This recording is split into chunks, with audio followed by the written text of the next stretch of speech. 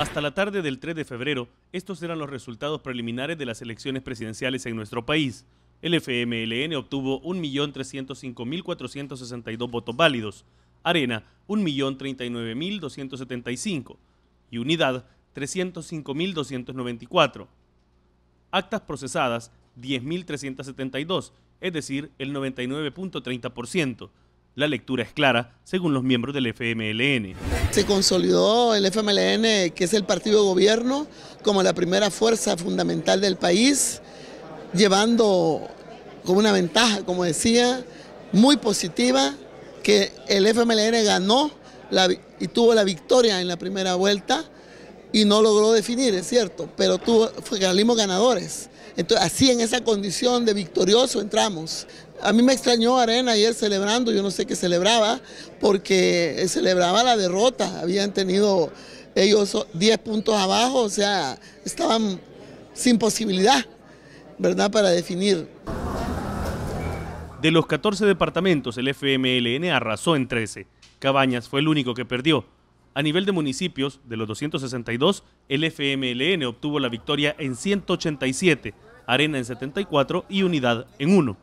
Nosotros, la acumulación que se ha logrado, que nos da una ventaja total de 10 puntos sobre Arena, es con la que entramos al combate.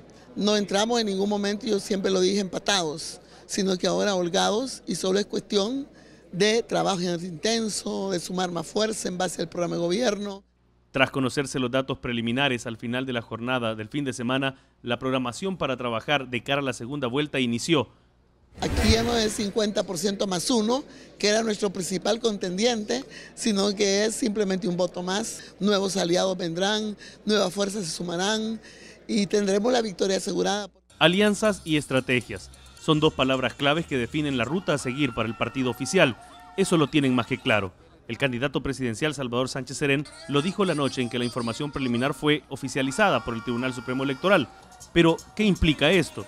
La primera fase nos dio un resultado. En esta primera fase de lucha, la primera etapa, logramos más de 100 adhesiones. Ahora vendrá otra etapa también de no solo lo que traemos de estas alianzas, esta unidad, sino que sumar otros. Otros que ya no van eh, en coalición, sino que quedan sueltos.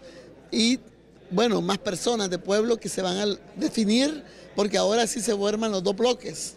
En nuestro país, una segunda vuelta de votaciones se ha tenido en dos ocasiones, en 1984 entre el Partido Demócrata Cristiano y Arena, resultando victorioso el PDC, y posteriormente en 1994 entre el FMLN y Arena. En esa última, Arena logró la victoria con Armando Calderón Sol. Ahora, en el 2014, Arena vuelve a una segunda vuelta contra el FMLN. La diferencia es que nunca en la historia habían estado tan por debajo del número de votos. Para ganar tendrían que superar el 10% de los votos que posee el FMLN, es decir, necesitan entre 350.000 y 450.000 nuevos electores.